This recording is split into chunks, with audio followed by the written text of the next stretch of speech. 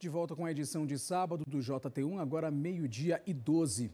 A ala Covid do Hospital Universitário de Cascavel está com 85% dos leitos de UTI ocupados. Ontem foi confirmada mais uma morte pela doença. Trata-se de um morador de Cafelândia. O repórter Eduardo Simões vai aparecer ao vivo aqui para atualizar para a gente todas essas informações e número de casos.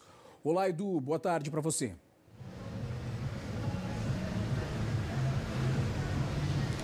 Olá, Rabi. Boa tarde para você também, para todos que nos assistem aqui no Jornal Tarobá, primeira edição.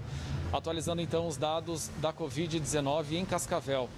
No Hospital Universitário do Oeste do Paraná, o HU, que essa semana ganhou 10 novos leitos e tem agora 20 leitos de UTI para pacientes com a Covid-19, tem nesse momento 17 pacientes internados na UTI e 13 em enfermarias.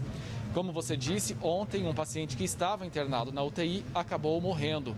É um senhor de 84 anos, morador de Cafelândia. Foi a 13ª morte registrada na cidade em decorrência da Covid-19. Mas agora há pouco, a Secretaria de Saúde do município confirmou a 14ª morte aqui em Cascavel.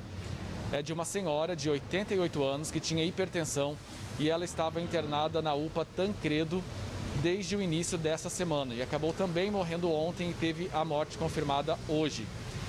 Ao todo, então, infelizmente, são 14 mortes até agora registradas em Cascavel e 1.089 casos registrados no último boletim divulgado ontem. Foram 59 casos a mais do que no boletim do dia anterior. Cascavel, então, tem essa situação nesse momento, Raab, com os leitos de UTIs, como você disse, 85%, com taxa de ocupação de 85% no HU. Raab.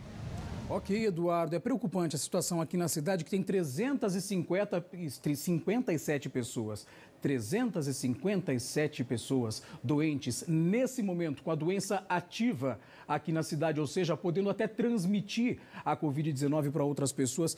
Fica por aqui, Eduardo, que eu já já vou te chamar para outras informações, ok? Muito obrigado pelas informações por enquanto. Outra situação que é importante a gente destacar no hospital universitário é que uma ala foi isolada para transferência, para o remanejamento da, de, da enfermaria do HU, porque a ala de queimados então recebeu novos 10 leitos para serem usados para pacientes com Covid-19. Então, uma outra área do hospital teve que ser separada para funcionar a enfermaria e atender esses pacientes em situação menos grave com outras situações de saúde também no hospital universitário.